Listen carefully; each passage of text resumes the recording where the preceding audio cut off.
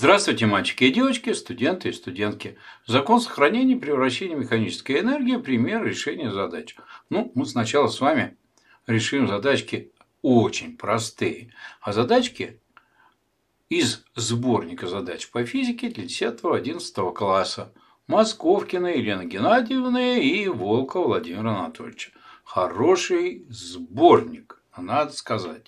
Итак, задачи первого уровня – лишний раз напоминаю, что то, что я буду вам рассказывать, очень-очень может пригодиться к подготовке, при подготовке к единому государственному экзамену, ну и вообще к разного рода контрольным, самостоятельным работам и так далее, и так далее. Ну что, давайте будем смотреть на эти задачи. Ну, прежде всего, давайте с вами заключим договор, то есть договоримся, какие обозначения у нас будут встречаться при решении задач. Потому что в различного рода источниках записывается ну, по-разному. Вот. Кто-то где-то обозначает потенциальную энергию, допустим, просто буквой П.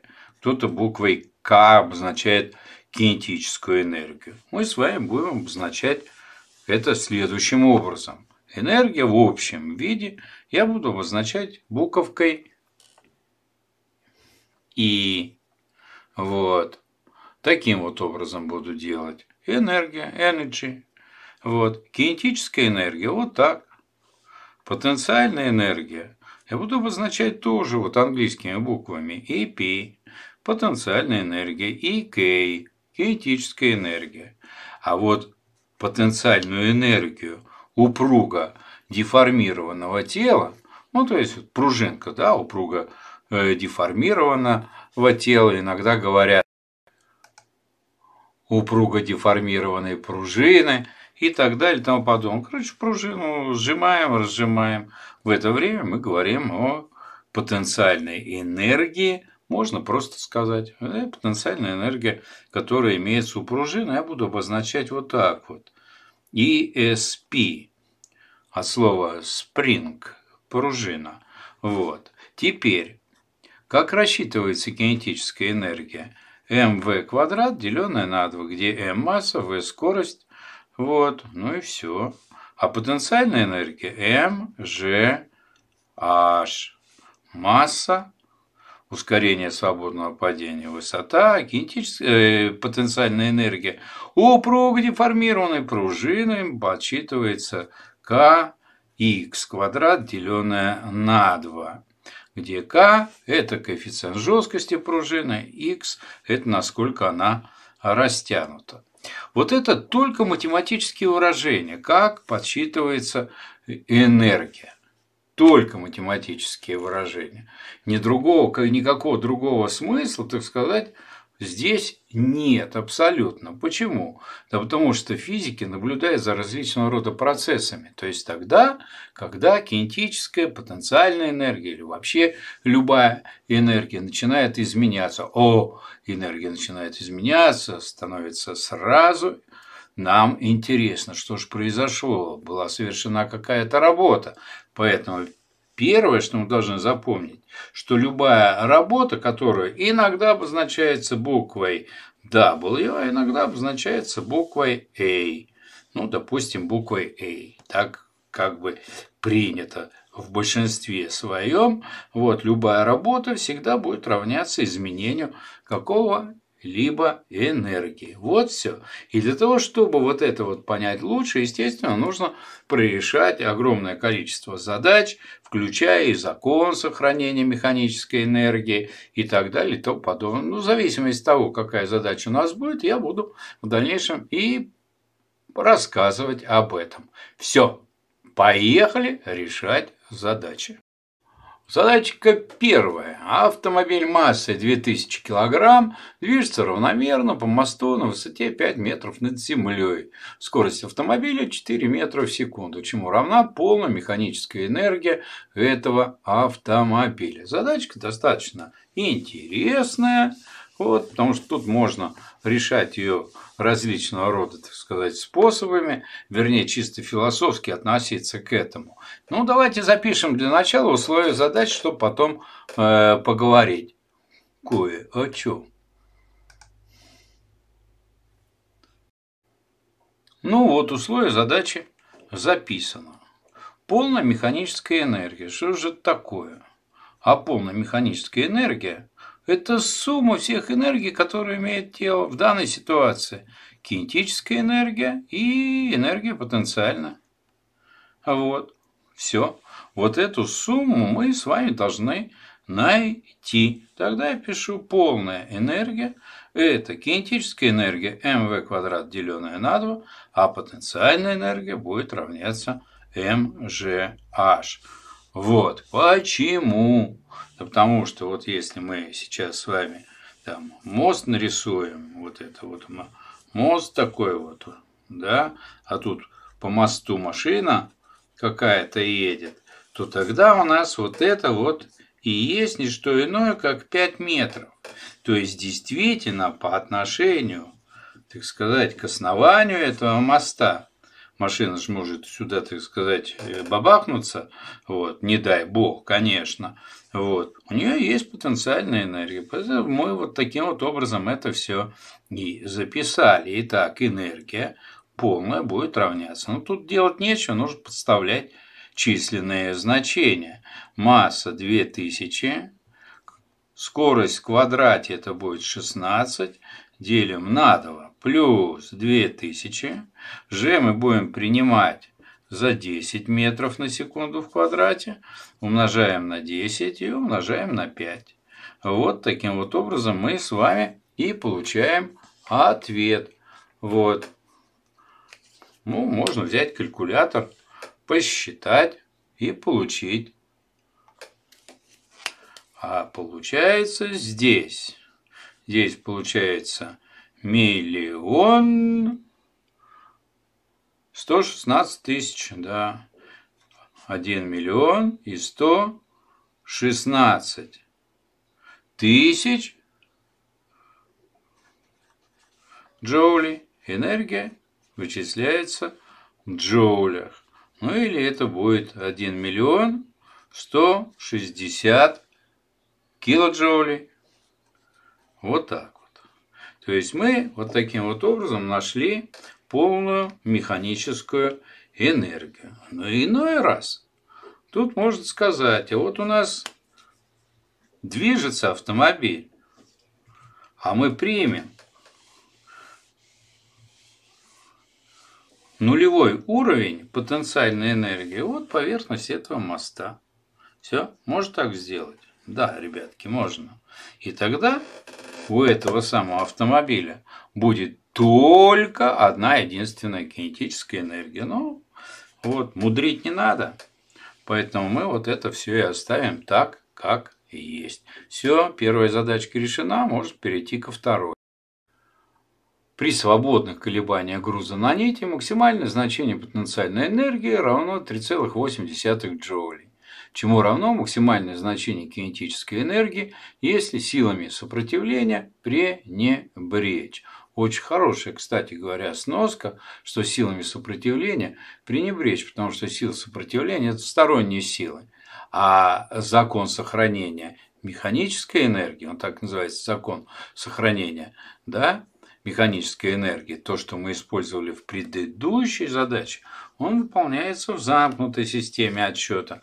Что ж такое замкнутая система отсчета? Это такая система отсчета, на которую внешние силы никакие не действуют. То есть, действительно, мы закон сохранения энергии в данной ситуации можем смело, так сказать, использовать. Вот. Ну, задачка очень простая, ну, что значит простая, ее нужно понять. Я вам сейчас объясню, как дойти до ответа 3,8 джоулей. Ну вот, я даже для этой цели вот грузик нашел.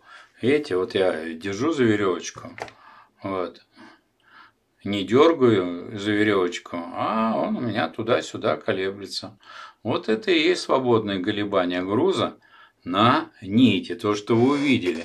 И если это сейчас нарисую, это приблизительно будет выглядеть таким вот образом.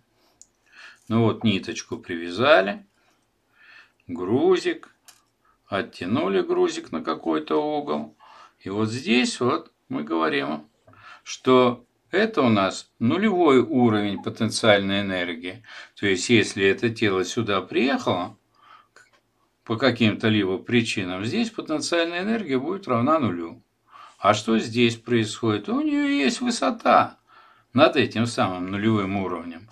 Значит, имеется потенциальная энергия. И поскольку в данной ситуации, если вот вы обратили внимание, да, вот грузик туда, сюда, туда, сюда, вот в крайней точке он останавливается, чтобы ехать обратно. Вот, то есть вот здесь, вот если мы говорим, что это максимальное отклонение, он останавливается. Раз останавливается, нет кинетической энергии. И в этой ситуации есть только энергия потенциальная. А что же здесь? Он сюда приехал, потенциальной энергии нет. Это означает, что вся потенциальная энергия превратилась в кинетическую. Ну, раз здесь было 3,8 джоули, ну, значит, здесь кинетическая энергия будет равняться 3,8 джоули. Вот таким вот образом. Вот все. То есть, если я нарисовал Землю, и над Землей находится шарик, ну и, допустим, здесь его энергия равняется 100 джоулей. Я спрашиваю, о чем равняется полная механическая энергия в данной ситуации? 100 джоулей. Потому что потенциальная энергия равняется 100 джоулей, кинетическая энергия равна нулю, поскольку я вот грузик взял, да, его держу, допустим, вот здесь вот на этой высоте никуда не движется, кинетическая энергия равна нулю. Теперь отпустил, он стал приближаться к Земле. Это означает, что потенциальная энергия уменьшается, потому что здесь потенциальная энергия должна быть равна нулю. Он прилетел на нулевой уровень. А кинетическая энергия будет увеличиваться. Поэтому если здесь, допустим, энергия потенциальная, скажем, 40 джоулей, то тогда по закону сохранения механической энергии, кинетическая энергия будет равняться 60.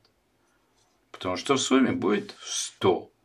А здесь потенциальная энергия стала равной нулю, ну а значит кинетическая энергия стала равна 100 джоулям. Вот все. Это кинетическая энергия. Максимальная. То есть не тогда, когда она уже упала и остановилась, а в момент соприкосновения землей. Вот все. То есть мы на лицо видим превращение потенциальной энергии в кинетическую.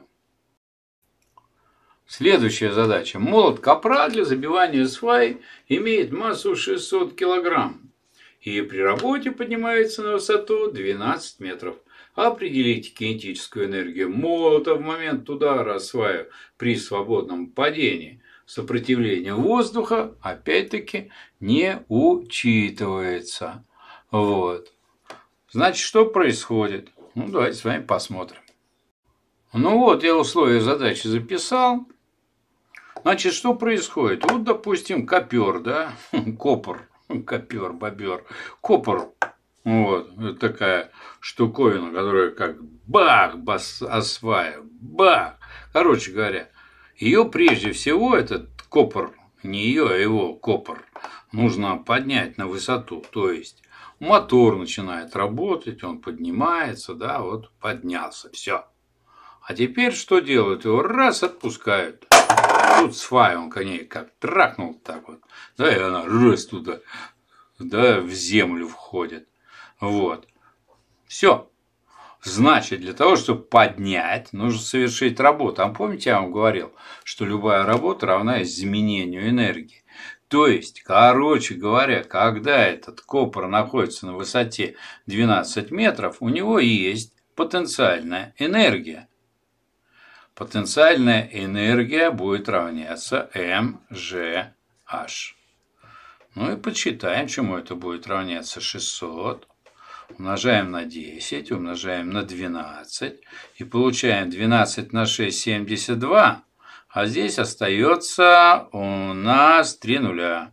72 тысячи джоулей. Вот такая вот потенциальная энергия у нас имеется у этого самого копра. Но теперь как предыдущая задача. Отпускаем его, вся эта потенциальная энергия начинает превращаться, улетучиваться. Она начинает улетучиваться и превращаться в кинетическую энергию. Значит, когда этот самый копор хорошенечко, так сказать, долбанул по этой самой свай, да, его кинетическая энергия будет равняться тоже 72 тысячи джоулей или 72, 72 килоджоуля. Потенциальная энергия превратилась кинетическую. Все. Других вариантов, как говорится, здесь нет. Кинетическая энергия тела, масса 1 кг брошенного с горизонтальной поверхности Земли на высоте 3 метров, равна 20 джоулей. Определить полную механическую энергию тела в момент падения на Землю сопротивлением воздуха пренебречь. Ну и что? Сейчас мы эту задачку с вами тоже решим. Итак, тело бросили. Да, у него вначале была какая-то энергия. Ну, допустим, вот взяли его и бросили, да? Вот здесь не сказано, как его бросили. Вот, ну, допустим, пусть даже под углом к горизонту. Ну, если он будет вот так вот лететь и тут приземлиться. Вот. То есть, вот здесь, вот на этой самой высоте, которая равняется 3 метрам, кинетическая энергия имеется. Вот, есть кинетическая энергия. Если он еще над землей находится, значит, потенциальная энергия есть. Значит, полная энергия равняется сумме кинетической и потенциальной энергии. Кинетическая энергия у нас есть 20 джоулей. Ну, значит, надо прибавить потенциальную энергию. А потенциальная энергия у нас это МЖH. Правильно? Ну, значит, подставляем 1 килограмм. Это масса. Вот она. G 10 метров на секунду в квадрате. Килограмм умножить на метр на секунду в квадрате – это ньютон. И сейчас мы это умножаем на 3 метра. Ну и сколько получается? 30 джоулей. 30 плюс 20 получается 50 джоулей. Вот такая энергия будет вот в этой самой точке. Это означает, что точно такая же энергия будет абсолютно во всех точках. И здесь, и здесь, и здесь, и здесь. И в момент приземления а, э, на Землю. То есть получается 50 джоулей. Вот все. Вся задачка. Почему? Потому что полная механическая энергия в замкнутой системе всегда остается величиной постоянной. Мальчик, стреляя из рогатки вертикально вверх, растянул легкий резиновый шнур так, что его длина увеличилась на 10 сантиметров. На какую высоту от места выстрела поднялся камень, если его масса 20 грамм, а коэффициент упругости шнура 80 ньютонов на метр. Ну вот, стреляет мальчик из рогатки. Записываем условия задачи и сразу же ее решаем. Итак, помните, я говорил, что если мы что-то растягиваем, это означает, что появляется потенциальная энергия упруго деформированного, так сказать, тела, пружины. То есть шнур это как пружинка. Вот, она же растягивается. И тогда ее потенциальная энергия упруг деформированного тела или упруго сжатой или растянутой пружины или упруго растянутого шнура равняется К. Вот я запишу дельта Х, насколько, так сказать, этот шнур растянули в квадрате, деленное на 2. То есть в данной ситуации натянули, вот и больше у этого тела ничего нет. Вернее, это самое шнур растянутый имеет вот такую вот энергию. А любая энергия всегда должна во что-то превращаться. А превращаться она будет, поскольку этот камушек начнет подниматься вверх, превращаться в потенциальную энергию. Вот и все. Вот и все, вся задача. Поэтому для того, чтобы найти вот эту самую высоту, мы k дельта x квадрат, деленное на 2, поделим просто-напросто на mg и получим эту высоту. Теперь нужно подставить численные значения. Подставляем 800 ньютонов на метр. Отлично. А вот 10 сантиметров надо перевести в метры. 10 сантиметров – это 1 десятая метра. Я также и напишу, вот смотрите, 1 десятая еще раз умножить на 1 десятую. Тут у нас будет метр и тут у нас будет метр. Понятно, да? Вот. Дальше делим все на двоечку. Вот она. Двоечка. Теперь на массу 20 грамм. Записываю 20 грамм. Но перевести в килограммы надо. Это будет 20 тысячных. И тысяча у нас улетает наверх. Вот. Тогда тут у нас будет килограммы. И что у нас еще остается? Еще у нас остается 2, как я уже сказал. А, окей. Значит, еще остается у нас вот g. Это 10. Ну, вот э, метр на секунду в квадрате можно записать как ньютон, деленное на метр. Вот. Ньютон, деленное на метр. Тоже так можно сделать. Господи, какие глупости говорю. Не ньютон на метр, а ньютон на килограмм. Почему? Да потому что ускорение свободного падения – это у нас не что иное, как метр на секунду в квадрате. А ньютон – это килограмм умножить на метр на секунду в квадрате. И вот если здесь у нас килограмм будет, да, мы это сократили, метр на секунду. Короче говоря, ускорение свободного падения 10 ньютонов на килограмм. Ну, а теперь смотрите, что получается. Килограмм килограмм сократил, ньютон ньютон сократил, метр метр сократил. О, вот эти метры остались. Теперь дальше. Раз, два, три. Три нуля здесь, раз, два, три нуля тут. И получается у нас 800 поделить, поделить на 4. Правильно? И получается не на 4, не 800, а 80, потому что вот этот нулик мы еще должны сократить. Короче говоря, 80, если мы делим на 4, мы получаем 20 метров. Вот так решается эта задача. Ну вот все. Учите физику на самом суперском канале. Физика – это просто канал, на котором любые задачи становятся простыми, понятными и доступными. Поэтому, если вы еще не записаны на мой канал, сделайте доброе дело, запишитесь. Буду вам очень признателен и благодарен. Всего, всего вам доброго, до свидания, до новых встреч.